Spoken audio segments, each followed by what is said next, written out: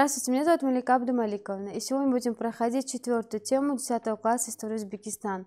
Тема называется «Создание системы управления советской властью в Туркестанском регионе и трансформация экономики». Подтема называется «Формирование ТСР и Туркестанской коммунистической партии».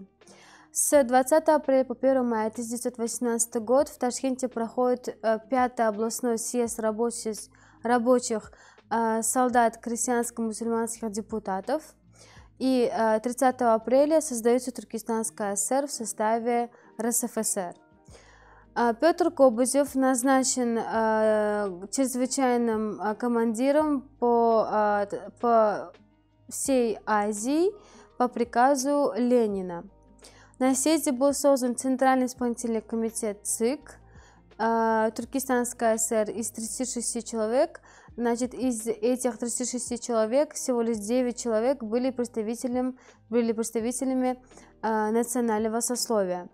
И э, создается э, Совет народных комиссаров Туркестанской ССР. Взяв руки управление, ТССР э, центральный, э, центральное правительство начало контролировать внутреннюю политику новой автономии. Вот, пожалуйста, можем обратить внимание на карту Туркестанской ССР, которая позже будет делиться на области. После объединения большевистских организаций э, провинции необходимо было создать коммунистическую партию. 17-25 июня 1918 года в Ташкенте состоялась региональная конференция большевиков Туркестана, на котором в составе Коммунистической партии России была организована Коммунистическая партия Туркестана. С созданием Коммунистической партии э, Туркестана экономическая политическая зависимость стала намного э, сильнее от России, так как местное самоуправление было вынуждено контролировать свои действия, а доклады и выступления были представлены на предводительное утверждение ЦК для их официального учреждения. А, на а, утверждение. На а, презентации мы можем заметить флаг и герб Туркестанской ССР. Следующая подтема – борьба Центра против национальных коммунистов и мусульманского бюро. Марте 1919 года на второй э, конференции Коммунистической партии Туркестана было а, образовано Краевое мусульманское бюро, сокращенно МИСБЮРО. А, в состав мусульманского бюро были внедрены Турар Искулов, он был во главе председателя, Хаджаев, Мухиддинов, Ибрагимов и Алиев. Пожалуйста, можно обратить внимание на портреты этих людей. Постепенно к активной руководящей партийной работе республики начали продвигаться лица местной национальности, имеющие большой авторитет среди коренного населения. А, например, а, Абдулла Авлани был а, представителем этой местной интеллигенции. Уже к январю 1920 года Тараскулов, будучи председателем ЦИК э, Туркестанской республики, стремился защитить, защитить свой народ. И, значит, первое, что он предложил, это пересмотреть Конституцию ТССР. Далее он предложил создать мусульманскую армию, вывести за пределы Туркестана всех немусульманских частей Красной Армии. Он предложил э, ликвидировать Туркомиссию и ликвидировать Туркестанский фонд. Э, фонд. Э, и командующий туркестанским флотом Фрунзе э, получил жесткий отказ, и требования Тура Раскулова не были выполнены. На презентации можем заметить э, портрет Фрунзе. Голос в Туркестане – это наша следующая подтема. 20 ноября 1918 года в ТССР создается Центральная комиссия по борьбе с голодом. С 1917 года по 1923 год в Ферганской долине умерло миллион жителей, а в Самаркандской, в Самаркандской долине более 200 тысяч человек. Военный коммунизм и НЭП. Военный коммунизм, новая экономическая политика. Тем, чем они отличались а, между, а, между собой?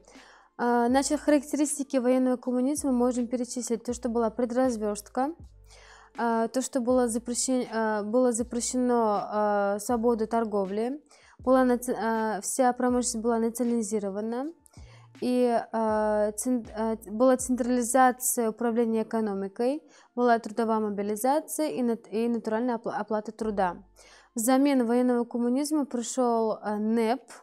Он предлагал продналог, это продовольственный налог, место предразвертки, свобода торговли, денационализация промышленности, мелкая частная собственность, аренда, концессии были разрешены, хоть и частично, и была э, выделена тарифная оплата труда вместо натуральной оплаты труда.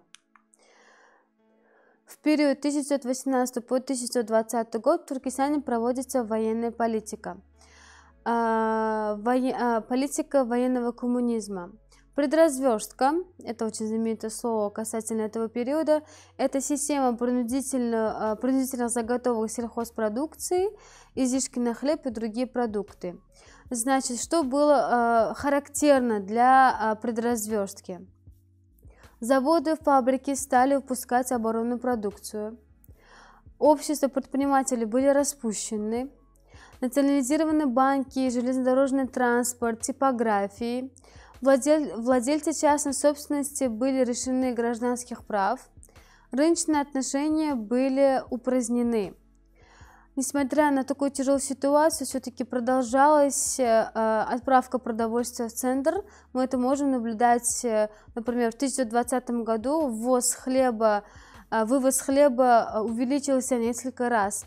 С периода по с 1921 года по 1922 год в Россию было отправлено более 4 миллионов пудов зерна. Это еще считает то, что а Туркестанский край не, специализи... не специализировался на производстве зерна. Предналог, э, это, так сказать, натуральный налог, был введен 21 марта 2021 года на 10 съезде э, РКП большевиков как замена предразверстки. Это считается то, что это э, было первым актом НЭП, а, основа которой составляет отказ от военного коммунизма. Далее. Жесткая экономическая политика а, вывела край из традиционного русла, и миллионы жителей городов-кишлаков вынуждены были вести нищий образ жизни, их обрекли на немыслимые решения, и по этой причине начало усиливаться недовольство политикой советской власти.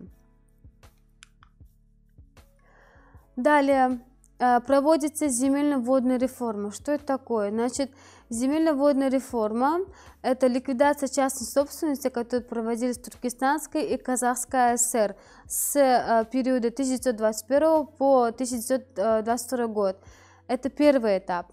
Цели военно-водной, э, земельно-водной реформы были ликвидация кулацкого хозяйства, переход к оседлому образу жизни, ликвидация крупных земельных владений, распределение земель между батраками и черекерами, уничтожение пережитков э, колониализма и переход вакуумных земель к э, государству. В итоге первого этапа земельно-водной реформы в фонд землеустройства э, центра поступило более 1 миллиона 700 тысяч, тысяч десятин земли, и было а, и в итоге сколько было выделено земель а, местному населению. Местному населению было выделено 600 тысяч десятин земли. На остальные земли строились совхозы а, и коммуны с низкой производительностью труда. Спасибо за урок, до свидания.